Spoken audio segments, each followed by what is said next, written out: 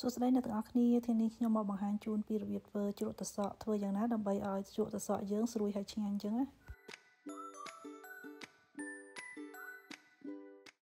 ជាដំបូងនេះយើងត្រូវមានត្រសក់ស្រូវហើយត្រសក់ស្រូវនេះខ្ញុំមានប្រហែលជា1គីឡូលើបន្តិចឯអ្នកទាំងអស់គ្នាហើយខ្ញុំយកមកពីស្រុកខ្មែរទេបើសារនៅ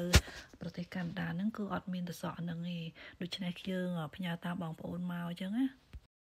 ជាដំបូងយើងត្រូវលាងទឹកសក់ឲ្យស្អាតហើយបន្ទាប់មកយើងចិតទឹកសក់នឹងជា4ឬក៏ជា6តាមទឹកសក់នឹងតូចធំណា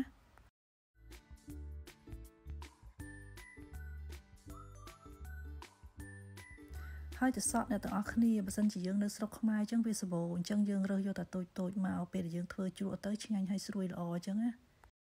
ឥឡូវនេះទៅសក់ចិត្តរួចរាល់ហើយអញ្ចឹងខ្ញុំចាប់ផ្ដើមទៅកូរទឹកស្ករបង្ហាញជូនអ្នកទាំងអស់គ្នាមើល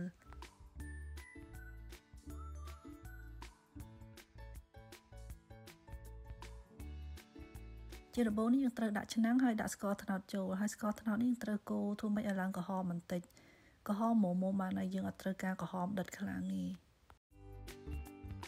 ជ្រក់ត្រសក់បើសិនយើងធ្វើជាមួយស្ករក្រហមធ្វើឲ្យពណ៌សម្បុរនៃជ្រក់ត្រសក់យើងឡើងពណ៌រាងក្រហមរាងស្អាតតែបើសិនជាយើងធ្វើជាមួយនឹងស្ករស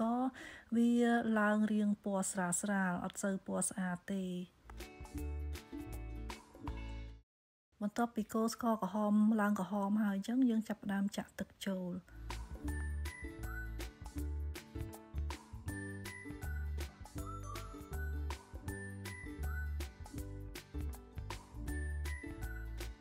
បន្ទាប់ពីចាក់ទឹកចូលហើយអញ្ចឹងយើងកូរច្បល់ស្ករជាមួយនឹងទឹកនឹងឲ្យវារលាយសព្វបន្តិចសិន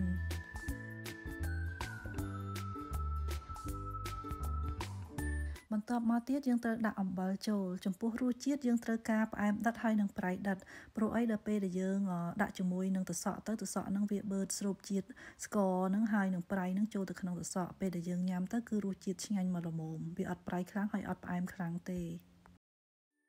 បន្ទាប់ពីដាក់អំបិលចូលហើយអញ្ចឹងយើងត្រូវការដាំទឹកស្ករហ្នឹងឲ្យឡើងពុះបន្តិចសិន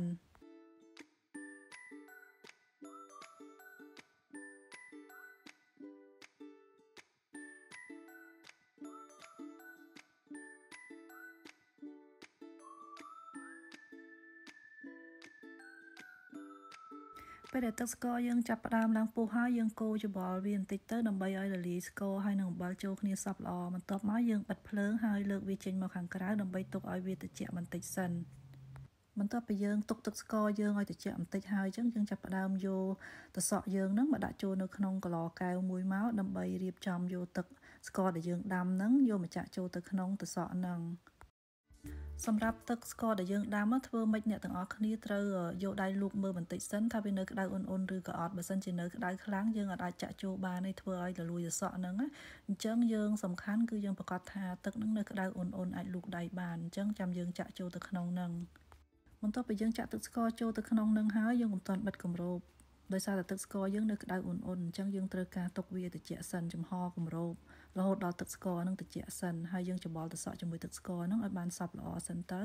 ចាំពេលដែលទឹកស្ករយើងឡើងត្រជាក់ហើយចាំយើងបិទគម្រប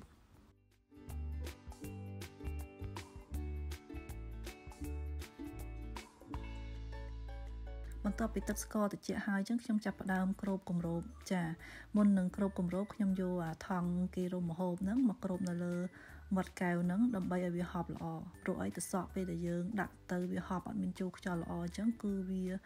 វាឆាប់ឡើងជូរបន្ទាប់ពីយើងគ្របទុកហើយអញ្ចឹងយើងរងចាំរយៈពេល5ថ្ងៃដែរអ្នកទាំងអស់គ្នាបានឡើងជូរហើយឡើងពពុះចេះពពុះហើយពណ៌អញ្ចឹងគឺមានន័យថាសក់យើងចាប់ផ្ដើមជូរជ្រះហើយ បើសិនជាអត់ឡើងពពុះហើយអត់ឡើងបដូរពណ៌សសក់ទេសសក់នឹងអត់ជូរទេឥឡូវនេះខ្ញុំចាប់ផ្ដើមបើកគម្របជូនអ្នកទាំងអស់គ្នាមើលហើយការទុកនឹងគឺខ្ញុំទុក5 6ថ្ងៃដែរបានជូរអញ្ចឹងអ្នកទាំងអស់គ្នាសារតការរស់នៅប្រទេសកាណាដានឹងវាត្រជាក់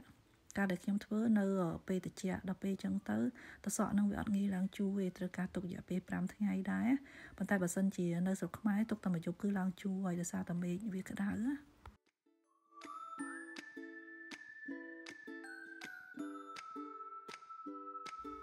ថ្ងៃនេះខ្ញុំលើកមួយមកបង្ហាញជូនអ្នកទាំងអស់គ្នាមើលតសក់យើងឡើងសម្បុរហើយឡើងពណ៌ស្អាតហើយអត់មានលលួយទេអ្នកទាំងអស់គ្នា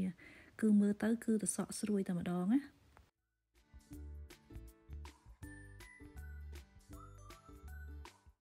សសម្រាប់សសក់ជ្រក់នេះបើសិនជាយើងចង់ទុកបានយូរលុះត្រាតែយើងចាក់ទឹកស្ករនឹងចេញហើយលាងសម្អាតសសក់នឹងឲ្យស្អាតហើយដាក់ចូលប្រអប់ថ្មី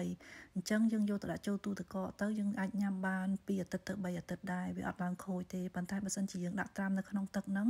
គឺវាធ្វើឲ្យកាន់តែជូរហើយសសក់នឹងឡើងទន់រលួយវាអត់ល្អហើយអញ្ចឹងយើងត្រូវការលាងសម្អាតជាមួយទឹកស្អាតបន្ទាប់មកទៀតយើងដាក់វាចូលទៅក្នុងប្រអប់មួយហើយដាក់ចូលទៅក្នុងទូទឹកកកទៅអញ្ចឹងយើងអាចយកញ៉ាំពេលណាក៏បានដែរក្នុងរយៈពេល2ទៅ3អាទិត្យហ្នឹងគឺទៅសក់អត់ខូចទេហើយនៅតែស្រួយឆ្ងាញ់អញ្ចឹងណាព្រោះអីទៅសក់ហ្នឹងយើងអាចដាក់ត្រាំនៅក្នុងទឹកស្ករហ្នឹងចោលដូចជាទៅសក់ដូចជាស្ពៃជ្រក់បាននេះវាធ្វើឲ្យរលួយដោយសារតសក់ហ្នឹងវាមានគ្រាប់តូចតូចពេលដែលយើងត្រាំទឹកយូរអញ្ចឹងទៅធ្វើឲ្យវារលួយតសក់ហ្នឹងឲ្យឡើងទន់អញ្ចឹងទៅអត់ឆ្ងាញ់ទេដូច្នេះដើម្បីទុកបានយូរមានតែវិធីមួយគឺយើងចាក់ទឹកស្ករនឹងចេញឲ្យលាងស្អាតជាមួយនឹងទឹកត្រជាក់ បន្ទាប់មកយើងដាក់ចូលទៅក្នុងប្រអប់ហើយយើងដាក់ចូលទៅក្នុងទូទឹកកកទៅពេលដែលយើងចង់ញ៉ាំយើងដកវាចេញមកញ៉ាំជាមួយនឹងត្រីចៀនឬត្រីអាំងតាមដែលយើងចូលចិត្តអញ្ចឹងណា